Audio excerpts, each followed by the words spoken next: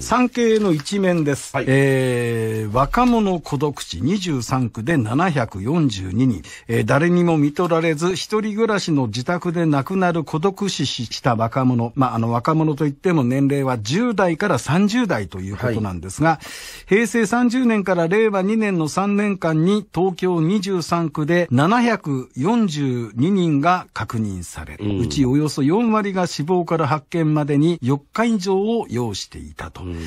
まあ、独居高齢者らに限らず若者にも孤独死のリスクが広まっている実態が浮き彫りになったということです。やっぱコミュニ、コミュニティというか何かしら、もうそれは年、年配になってもそうだけど、やっぱり人ってコミュニティをなんか作っていくところがやっぱりないと、今個別個別で自分の好きなことをできる時代になってるから、それはそれでいいとは思うんですけど、やっぱ人間対人間のコミュニケーションというか、そういうものをこう、なんかもうちょっと作れる世の中にやっぱ変えていかないと、まあそれ元に戻すじゃないですけど、そうしないとこういうことが増えてんのかなっていうのは一個あります。で、もう一個これもね、ちょっとこれ僕も説明の仕方が難しくて答えがいつもわかんないままなんですけど、うんと、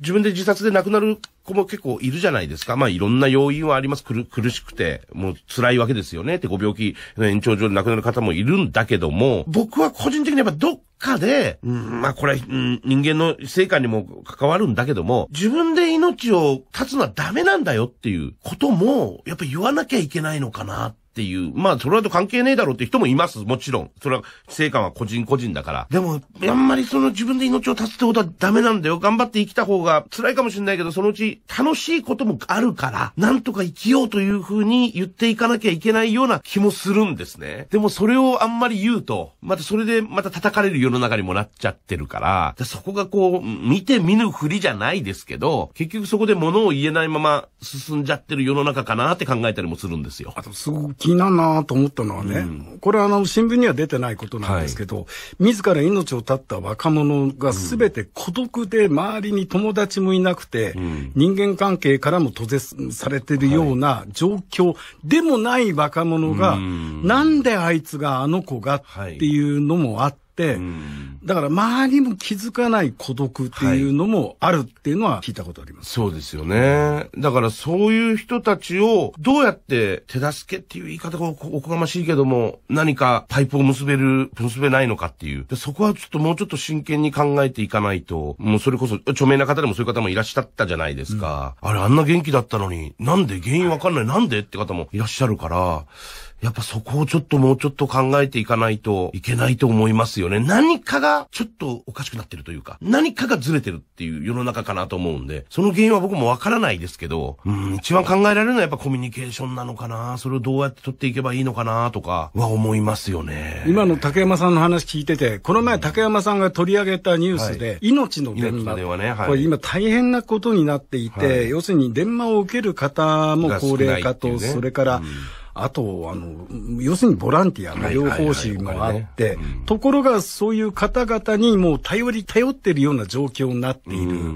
だから最後の電話をはいはい。かける相手に繋がらないとか、はい。一本の、本当に一本の糸じゃないけど、はいそれがもしプツって切れた瞬間に絶望感に、うん、なるかもしれないですね。はいだからそこの、うん、もしかしたら報道の仕方もそうです。昔それはなかったけど、今そういうニュースがあると、必ずテレビやラジオでは最後そういう、えーこう命の電話のこうありますよって言うじゃないですか。まあそれはそれでいいことだと思うけど、うん、今車屋さんおっしゃったように、そこに、あ、そうかと思って、かけたけど繋がんないって状況になっている。じゃあ、それを社交辞令じゃ、あの、借地定規みたいにこう、普通に、普通通りここにかけてくださいっていう報道の仕方で、人任せでいいんであろうかっていうのも考えたりとか、多分、下手したらこれからさらにこういうね、あの、孤独で亡くなっていく若者っていうのは、特に都市部では増えていく可能性もあると思うし、それをなんか、まあ、あの、少子化問題で、いろいろそっちで動こうっていう世の中ね、なんか政治もそうなってますけど、一方で今生きてる中で悩んでる子とか、そういう子もこうやって増えてるわけだから、そっちの解決もなんかこう、国でもなんか考えてもらった方がいいのかなと、ちょっと考えますけどね。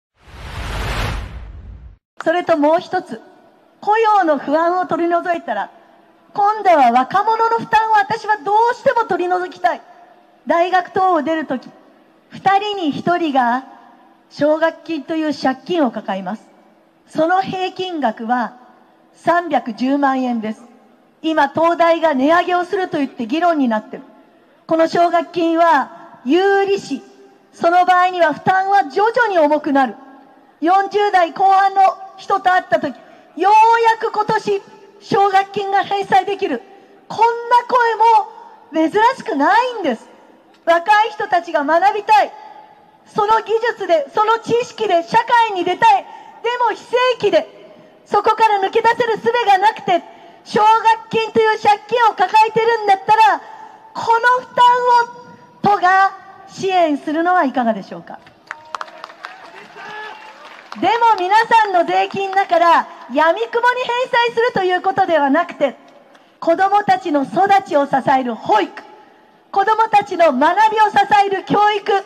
皆さんの命を支える医療、シニアの安心を支える介護、この公的分野で働いている若い人たち、この公的分野で働いてくれる若い人たちに限定をして、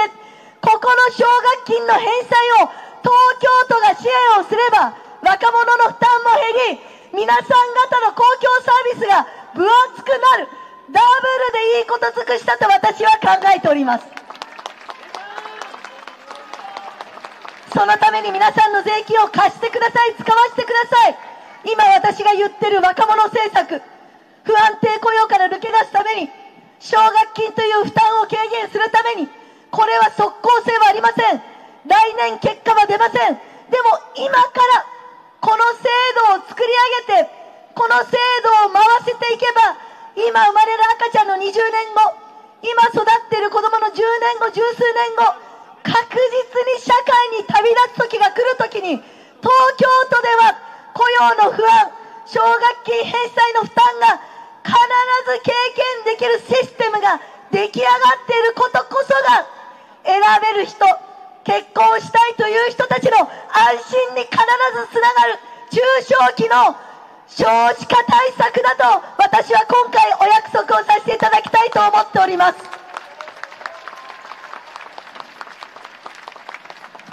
長い時間をかけて少子化になりました。ちゃんと丁寧に時間をかけて派手さはないけれども、地味かもしれないけれども、確実に救われる若い子が生まれる街。確実に救われる若い子たちが羽ばたける街。それが新しい蓮舫の考える東京都政です。ぜひ実現をさせてもらいたいと思っております。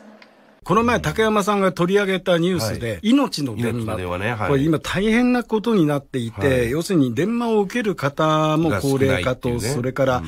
あと、あの、要するにボランティアの療法士もあって、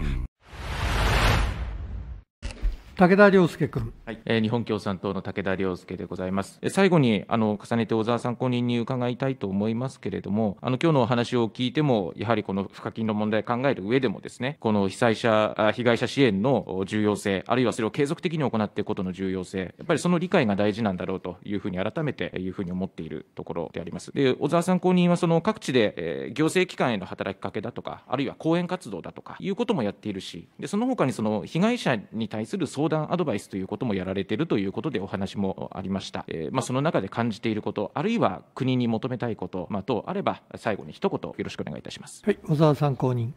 ありがとうございます。あの本当に今一番大きな問題を抱えているのはですね、夜間の相談でございます。あの一番多い相談時間というのはですね、夜間なんですね。多くの方がしっかりと朝から晩まで働いて、やっと相談ができる。または昼休みのこの中途半端な時間に誰にも聞かれずに、もしかしたら涙をしながらこの命に対して相談をする。または家族の私生活について相談するというのは非常に難しいです。ですからプライバシーを確保された場所で相談するにはどうしても夜間が多いです。またお子さんを亡くされた方で多いのはですねもう一人の子供に聞かれたくないのでその子が寝てから相談でいいですかとなるとですね私が普段相談対応している時間はあの昼間よりもどちらかというと5時以降の方が多いんですね。これは多分各団体さん遺族団体もそうですし交渉団体さんも当事者団体さんも同じだと思います。その中でこの相談を受けるということに対してもういつつ電話がかかってくるかわからないわけですねそれに対して電話がかかってきて取ってしまったら2時間かかるかもしれないしその後のケアで弁護士さんに相談その後は、え市役所に相談とかってなると当日中には全部できないとなると翌日に持ち越して支援になったりもするんですけれどその支援の過程を全部今夜間に関しては結構遺族団体や当事者団体が担ってるというところが多いです。というのも、えっと、犯罪被害者支援センターなどが各市区町村には必ず1個設けられていますけれど大体業務としては4時または5時が多いです。このようなことを考えるとやはり夜間業務というのを週1日でもいいから作っていただきたい。または土日のどちらかでいいので相談時間を設けていただくというようなことが対策として必要かなと思います。よく最近連絡が多いのがですね命のダイヤルというのがございます。この命のダイヤルに連絡がかかってきて命のダイヤルさんから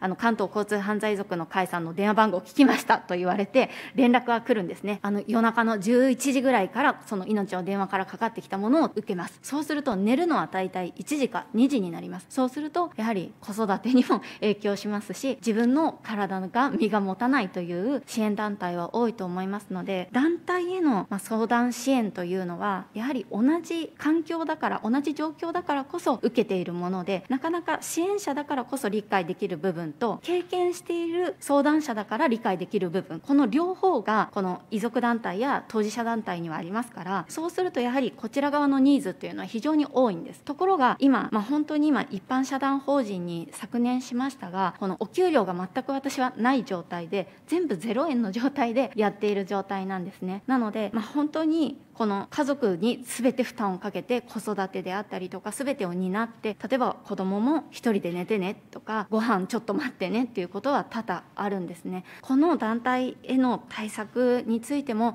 ぜひ検討をしていただきたいですしこういうような考える機会をいただいたので、ま、この被害者の相談のニーズがこれだけあるんだということがなんでこう支援団体にないのかって言ったらやはりあの業務時間外が多いというところがあの問題点だと思っております。ます。以上でございます。すいません長くなりました。ありがとうございました。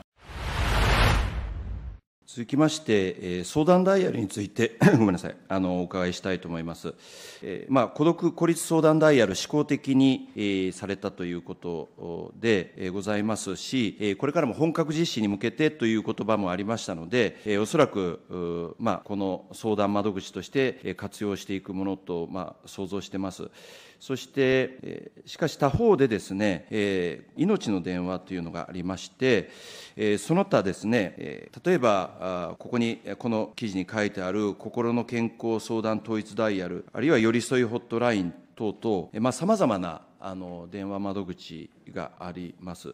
したがって、まあ、相談窓口を充実させて、えー、ぜひそのそういった困った声をしっかりと受け止める窓口が必要だというのはその通りだと思いますしそれはあの進めるべきだと思うんですねただあのこういう命の電話っていう、まあ、長い歴史を持ったあ、まあ、相談窓口があるあるいは他にもあるということで、えー、その孤独孤立ダイヤルがとその他の電話のどこに電話をするのかって言ったた時にやはりこれちょっと分かりにくいんじゃないかと思うわけです。え何が違うのかもよく分からないし、あの私自身もよく分からないし、えー、実際に困った方がじゃあどこに電話しようと思った時に、えどこにしてもいいかよく分からないのではないかと、まあ、危惧するわけです。それと同時に、先ほど申し上げたように命の電話は、えー、まあ、かなり長い歴史を持っておる組織で、あのあのやり方で、そしてそこで働く方はですね、えー、随分と訓練を受けて、まあ、ボランティアで、え、研修を受け、え、そしてさまざまな訓練を受けけて、まあ、この相談員となられているわけです。そうやって考えると、例えばその政府の孤独孤立ダイヤルができたことによって、その命の電話をやっていた方が、あのまあ、そそちらをやめてこちらに来るとかですね、そういう人あのこれまでやってきたあの、まあ、積み上げてきた方がこちらに移ってくるっていうことになると、一体何のためにこれを作ったのかということにもなりかねないと思うんですね。で、えー、もう一つ言えば、この命の電話をずっとやってきている方とお話を伺うと、やはりそんな簡単にすぐできるもんじゃないと、やはり訓練がいるし、したがってすぐ誰か人がいればいいというわけではないということを考えれば、やはり相談員として、えー、まあ、あの訓練を受け、そして経験を積む、えー、そしてすぐにそのダイヤルを作ればそれが受けられるというわけではないんじゃないかというふうに思うわけです。したがってその、えー、分かりづらいんじゃないかということと、人材がその移動してしまうんじゃないかという懸念があるわけですけれども、その点について大臣の見解を伺いたいと思います。小村大臣。えっ、とこの孤独孤立相談ダイヤルは、孤独・孤立に関する個人の悩みが複雑多様化し、相談窓口も分野やエリアに応じたさまざまなものが存在する中で、各相談窓口の主体のみでは、複雑多様な課題への対処には限界があること、あるいは相談者の立場からは、さまざまな相談窓口があるがゆえに、相談をどこにすればいいか分からず諦めてしまう状況を打破することを狙いとして取り組んで、打破することを狙いとして取り組んでいるものであります。具体的にはですね、あの委員がご紹介いただいた日本命の電話連盟を含む官民連携プラットフォームの関係団体の協力を得まして、シャープ9999という分かりやすい番号で一元的に相談を受け付け、必要に応じて相談から支援制度や地域の支援機関につなげる実践的な施行を行っております。まあ、そういう意味では、命の電話も含めですね、あのより幅広い孤独や孤立の課題について、一元的に総合的に受け付けるのが、私どもの電話相談窓口でありまして、必ずしもですね、あの勝ち合う、重複するものではなくて、むしろ連携してより広範囲に取り組んでいるものと、そういう認識でございます。もちろん、あの人材育成は重要でございます。あの今回、関係している団体というのは、あのいずれもあの命の電話のように、あのしっかりあの経験を積んだ団体にお願いをしておりますが、まあ、これを広げるとなると、まあ、先ほど来申し上げているように、相談員の体制の強化等々も課題となってくると思いますので、その点につきましては、あの今後、環境整備に取り組んでいきたいと考えております。はい、稲富君。どうもありがとうございました。これで終わります。もうちょっと待って。